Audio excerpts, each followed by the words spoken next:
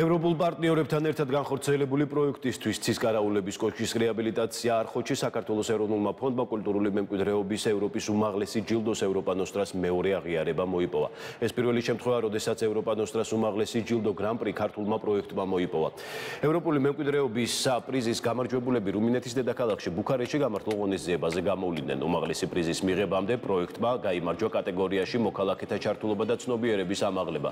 ხევსურეთში საქართველოს რუსეთის საზღვართან ნარხოტის თემის სოფელ ახიელში მდებარე მე-16-მე-17 საუკუნეების ისკარაულების კოშკი რუსეთ-ჩეჩნეთის მეორე ომის დროს მიმდინარე საბრძოლო მოქმედებების შედეგად დაზიანდა.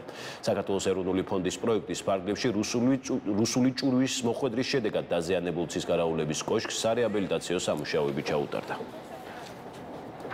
საკმაოდ დიდი და ესეთი მნიშვნელოვანი პროექტები წარადგინა რამდენიმე ქვეყანა, მაგრამ მათ შორის ჩვენ ვიყავით მოწინავე და ლიდერები და ეს ჩვენთვის კიდევ უფრო ასმაგად სასიხარულოა. ეს ნიშნავს იმას, რომ ხარისხობრივად, ტექნიკურად ეს პროექტი იყო ძალიან გამართული, ძალიან სწორად შედგენილი და ძალიან სწორად განხორციელებული.